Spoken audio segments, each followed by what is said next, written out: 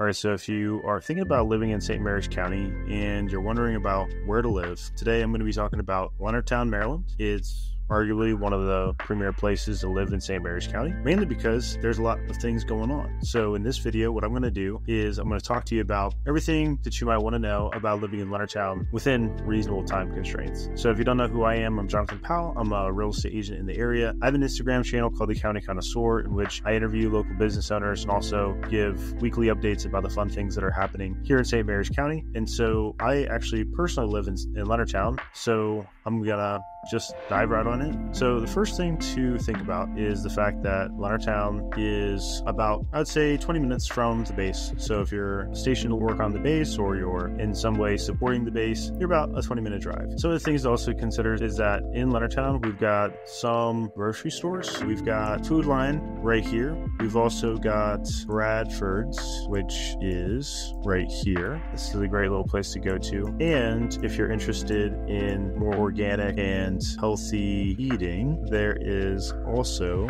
Good Earth Natural Foods Company, which is a nice organic market. And you're not too far from Harris Teeter, which, truth of the matter, is that it is the nicest grocery store in the area. So that's some food. I don't know why I started there. I guess that's where my head goes. But when I think about Leonardtown, generally speaking, I think of a really nice area. It's pretty safe. If you look at the most dangerous places in St. Mary's County, apparently it's not as safe as some of the surrounding areas, but maybe that's just because of the way that they're calculating the uh, the crime. I'm not sure. But according to crime grade it's got a b plus so it's lower than average us city. It's in the 71st percentile for safety meaning 29% of cities are safer and 71% of cities are more dangerous. Crime rate in leonardtown is 16.9 per 1000 residents during the standard year. It is what it is according to crimegrade.com. But I can tell you this the state police department is right here in Leonardtown. St. Mary's County Sheriff's Office is right there, as well as the Maryland State Police Barracks. So that's going to make things fairly safe. I never feel too bad about going through Leonardtown, especially in the evening. I do it all the time with my wife and family. The hospital is in Leonardtown, so that's something to consider. If you want to be close to the hospital, Leonardtown is definitely the place to be. What else? We got school district quality, so let's check out the niche page. So, according to niche.com. You've got top public schools serving Leonardtown, Leonardtown High School A minus, Leonardtown Elementary School A minus, Leonardtown Middle School A minus, Benjamin Banneker B plus, A minus for the Chesapeake Charter School as well. Some of the other things to note about Leonardtown is that you've also got St. Mary's Ryken, which is the largest private school in St. Mary's County. They recently got a really awesome field. A lot of people have uh, graduated from Leonardtown from St. Mary's Ryken. They've got a sailing club. They got this brand new athletic building. Haven't been inside, but it's pretty impressive. It's a pretty impressive campus. They've got lots and lots of different clubs soccer, lacrosse, football. It's very competitive. They're in a very competitive athletic division with the WCAC, but that's a big one. As far as other private schools go, you've also got Father Andrew White, which is right here. That's very nice. Private elementary school, Catholic school. We've got Leonard Hall Naval Academy. That's been around for a long time. You've also got Little Seedlings Christian. I suppose that's a daycare. Also close to Leonardtown is St. John's School. So that's another place that uh, a lot of people like to go to. Technically, of course, that's Hollywood. There's also Benjamin Banneker and then Captain Walter Francis Duke. That's right by Leonard's Grant, which is a pretty nice neighborhood. There's Leonardtown High School right here. Dynard Elementary School, kind of further out there. I think generally speaking, most people would perceive the Leonardtown schools as being very good, very safe. I went there, no complaints. Next, when you look at housing prices, I feel like this heat map is very helpful.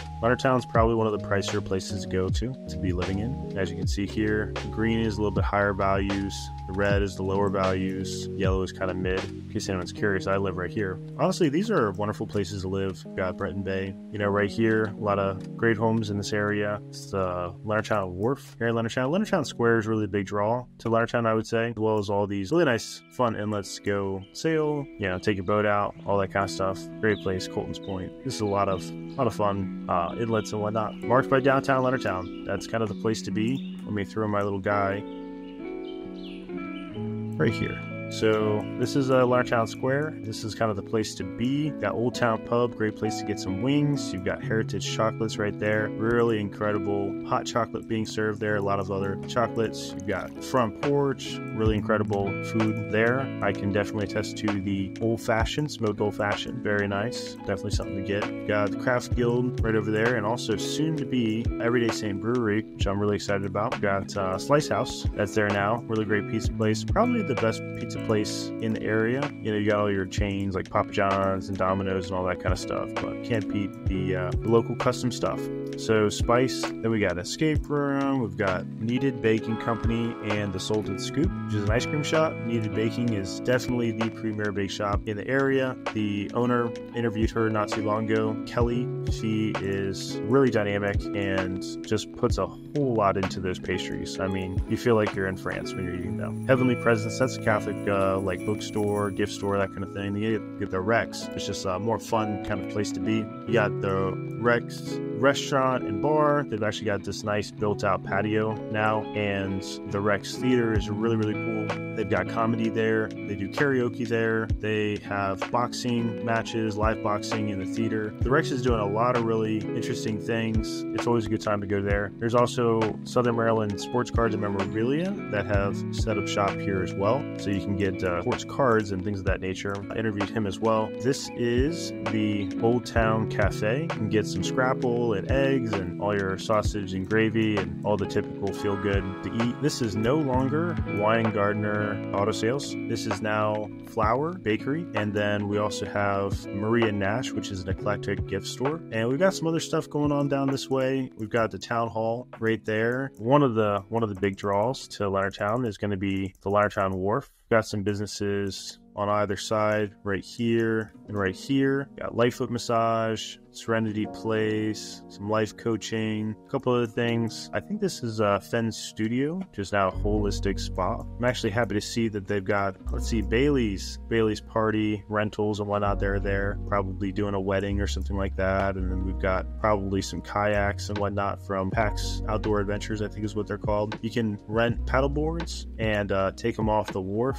in the summertime. It's really nice to get some ice cream from over here. Just a really nice place to hang out. There's a playground over here as well. Me and my kids, we go there pretty often. A little historical tidbit is uh, we've got the old jail next to the courthouse, so that's kind of a neat feature. So now we've got Sweet Bay, which is a great restaurant. Antoinette's Garden, it's a great, great place to get wine just kind of chill for a while. This is now the social, which is going to be great coffee shop that used to be way over there, and uh, they've expanded a lot. That's the place where you want to get, I'd say, the best coffee. But to be honest, Kneaded Baking has come out with some really good coffee. But this is what they do. Social is mainly coffee and drinks. You know, you can go out there get some drinks. There's they've got trivia night there sometimes and some other events. There's lots of cool things that are here in Leonardtown, but uh, that should just give you a quick feel for some of the things that you could expect. So, Leonardtown has major plans to develop. They've been designated like a Main Street town, and that's going to basically lead to a lot of development. So, Tudor Hall has not been developed. This has been Tudor Hall Farms, but the plan is to expand the wharf this way. There's going to be trails, and there's going to be an outdoor amphitheater over here, and there's going to be a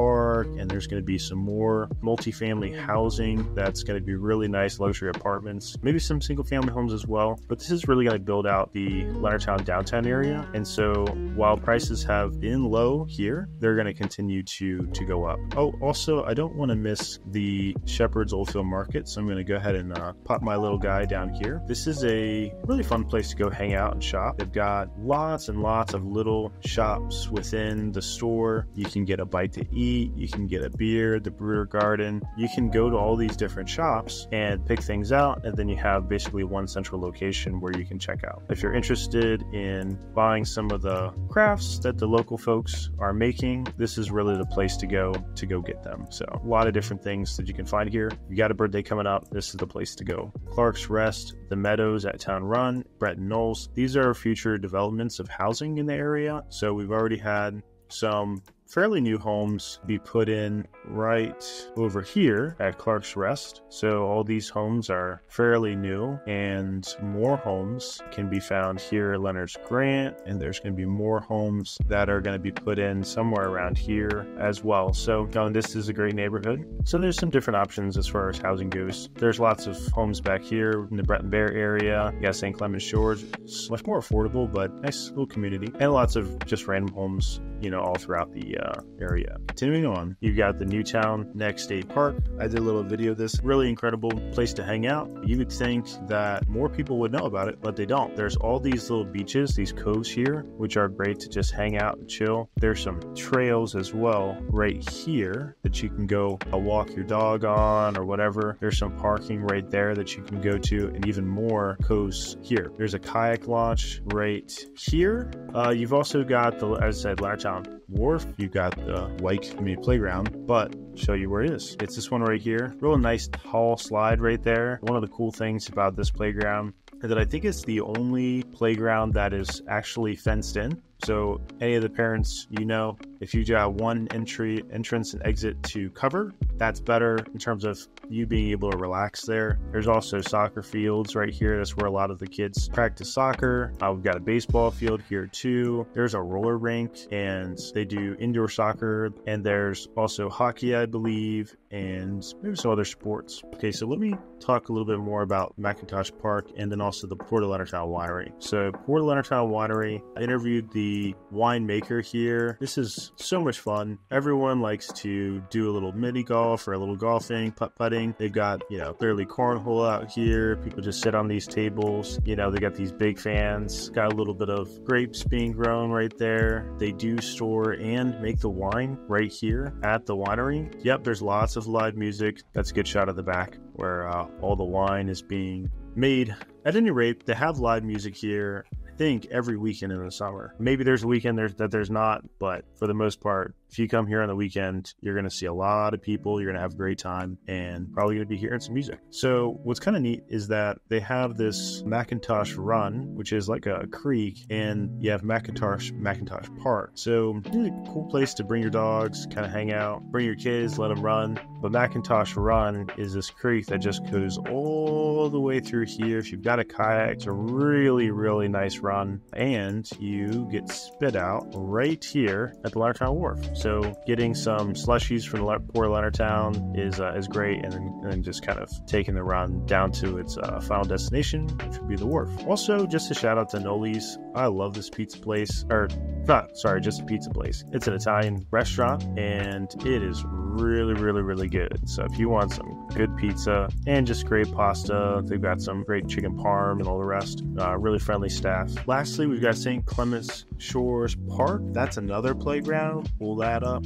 So this is a little known place in Leonardtown. They've got a playground right here, some baseball fields. Again, I take my kids there a lot. A lot of people don't know about that. Another great, you know, well kept secret is the Back Road Inn. That's a great place to go to for some some local fun. Uh, a lot of good games are happening right here. Salsa's Mexican Cafe. This is a place where a lot of people like to go. And then also there's Actions. Where is Actions Lounge and Bar? So this is the spot to go to for billiards, cornhole. They've got some hours for kids that are under 21, but uh, if you're over 21, this is a really fun place to hang out and uh, really good vibes. You just can't go wrong hanging out in action on the weekends. Leonardtown, as far as it goes, is the cultural center for St. Mary's County. It doesn't necessarily have all of the commerce that you're going to have in California, insofar as there not being a Walmart or a Target or a Lowe's or a Dick's Sporting Goods or, you know, Harris Teeter, things like that. But I would say it's the cultural center, it's the entertainment center. There's a lot of restaurants here.